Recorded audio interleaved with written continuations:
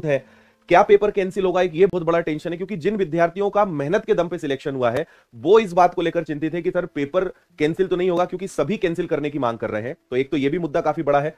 अब जिस उद्देश्य के साथ मैंने इस वीडियो को शुरू करा है, उस पर आते हैं। अब यहाँ पर एक सबसे बड़ा मुद्दा यह है कि, सर, जिन बच्चों ने मेहनत करी, उन्होंने क्या बिगाड़ा था? मेरे पास, मैंने आपसे एक बात कही थी कि टॉप टेन में, मैं पहली बार ये यूट्यूब पे बात बताने जा रहा हूँ और आप में से इसको सुन के कई लोग घबराएँगे, कई लोग फिर मुझ पर संदेह करेंगे। मैं आपको बता रहा हूँ टॉप टेन में से एक बच्चे से मेरी बात हुई है। मैं अभी उसका नाम नहीं बताऊँगा, आपको उसके बारे में कुछ नहीं बताऊँगा। और उसका मैसेज हमारे पास कई दिन पहले ही आया था, लेकिन उस समय तो हमें पता नहीं था। हमने, क्योंकि रिज़ल्ट हमारे पास आते जा रहे थे, हम अपनी टीम को उसको रिकॉर्ड में मेंटेन करते जा रहे थे। जब ये टॉप टेन की लिस्ट आई, और जब, क्योंकि दस के दस फर्जी नहीं है, मैं आपको इसलिए बता रहा हूँ, क्योंकि ये आप बीती है।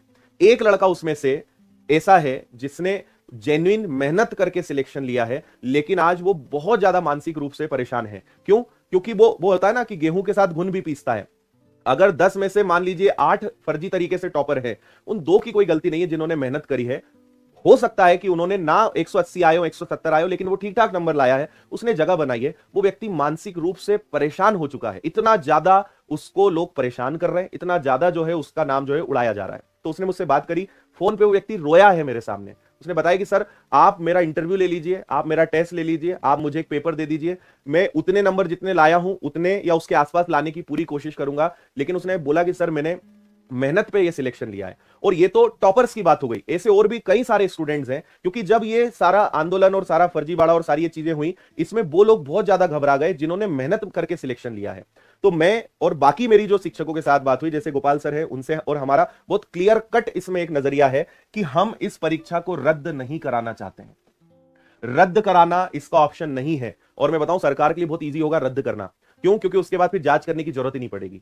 अगली बार परीक्षा होगी, फिर कुछ होगा, क्या होगा नहीं पता। रद्द कराना हमारी बिल्कुल मंशा नहीं है। हम नहीं चाहते कि री एग्ज़ाम हो, क्योंकि मान लेते एक बार के लिए कि एक हज़ार पंद्रह सौ या जितने भी बच्चे हैं जिन्होंने और अभी ये एक अनुमान है। ये तो कोई भी निष्कर्ष हम जाँच के बाद ही पता लगा पाएँगे कि आखिर में हुआ क्या है, कितने लोगों ने फर्जी तरीके से जो है हुई और आखिर ये हुआ तो हुआ कैसे। लेकिन मान के चलिए कि जो बचे हुए लोग हैं या अधिकतर जो लोग हैं, जिन्होंने अपनी मेहनत पे सिलेक्शन लिया है, उनकी क्या गलती है इसमें? तो हम बिल्कुल नहीं चाहते हैं कि एग्ज़ाम रद्द हो, हम चाहते हैं इसकी जाँच हो और आगे आने वाली परीक्षाओं में ऐसा कभी कुछ नहीं हो, हम ये चाहते हैं। यही परमानेंट सॉल्यूशन है, आप विश्वास करिए, रद्द करना इसका सॉल्यूशन नहीं है। सीबीआई स्तर की जाँच होनी चाहिए, एक प्रॉपर कमेटी बननी चाहिए, क्योंकि व्यापम का नाम पहले बदल के, व्यापम पहले भी बदनाम था, नाम बदल दिया, काम अभी तक नहीं बदला, तीसरी बार नाम बदला है, लेकिन काम आज भी वही चल रहा है, और हम चाहते हैं कि ये जड़ से ये जो सिस्टम है इसको उखाड़ के फेंके, और एक निष्पक्ष तरीके से इसकी जाँच हो, और आगे किसी भी परीक्षा में इस प्रकार का कुछ ना हो, ये हमारी एक सिंपल सी मांग है। और हम इसी के लिए फाइट करेंगे। इसी के लिए हर, जो भी जिम्मेदार हैं या हमारे मुख्यमंत्री जी या जिनसे भी हम मिलेंगे, जो भी आंदोलन होंगे, जो भी ज्ञापन होगा, जो भी होगा, उसमें हमारी केवल एक ही मांग रहेगी।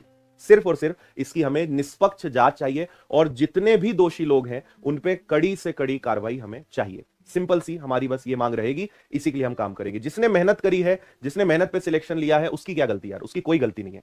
उसने मेहनत करी है, उसकी इसमें गलती नहीं है। जिन्होंने गलत तरीके से इसमें एंट्री ली है उनकी गलती है। उनको प्लस एंट्री कराने वाले को सजा इसमें मिलनी चाहिए। ये हमारी मांग यहाँ पे रहने वाली है। ठीक है? पेपर रद्द होने के मैं बिल्कुल खिलाफ हूँ। मेरे साथ साथ गोपाल सर भी उन, उनसे उनका भी स्पष्ट है। सर पेपर रद्द नहीं होगा। जाँच करवाएँगे हम। उसके लिए जो बनेगा वो हम करेंगे। ठीक है? हम हैं बाकी शिक्षक लोग हैं। पूरे मध्य प्रदेश के शिक्षक आपके साथ हैं। सब मेहनत करेंगे आपके लिए लड़ेंगे और रिज़ल्ट भी इसका 100 परसेंट मिलेगा और जो हमारा उद्देश्य है, उसके लिए निश्चित रूप से काम करेंगे। बहुत सारे स्टूडेंट्स जिनका कांस्टेबल को लेके बहुत अच्छा मन लगा हुआ था, वो एकदम लग गए थे कि यार ठीक है, पटवारी में नहीं हुआ है अपना, पिछले कांस्टेबल में नहीं निकला, इस बार मेहनत करेंगे। एक इस समय सबसे बड़ी प्रॉब्लम मध्य प्रदेश के युवाओं के साथ क्या हो रही है कि अब पढ़ने में मन नहीं लग रहा है। यूट्यूब खोलते हैं पूरा यूट्यूब भरा पड़ा है फर, फर्जीवाड़ा और इसके वीडियो से। और जितना हम इन चीज़ों को देख रहे हैं जितना इन चीज़ों को सुन रहे हैं उतना हमारा जो है और दिमाग जो है डिस्टर्ब हो रहा है। मानसिक रूप से हम बहुत ज़्यादा परेशान हो रहे हैं है ना? आप आखिरी तक आए हैं आपका बहुत सारा धन्यवाद जो आपने सुना, क्योंकि बहुत बड़ी बात है इतना पूरा सुनना।